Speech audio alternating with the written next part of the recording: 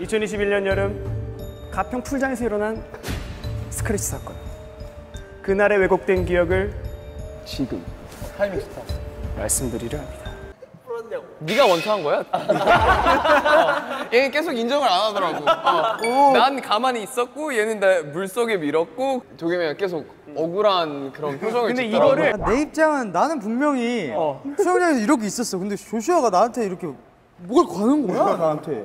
그래서 나는 그래서 그냥 받았지. 어. 받아서 날 이렇게 해서 그렇게 들어간 건데 내 기억에는 형이 이제 날 밀었으니까. 근데 그때 나도 방어하려다가 한 어, 거다. 한번 미안해 하다가 형이 근데 밀긴 했던 거여가지고 밀긴 한 거야 지금. 상처는 건 미안하지만 형이 밀긴 했던 거였어서 어쩔 수 없었다.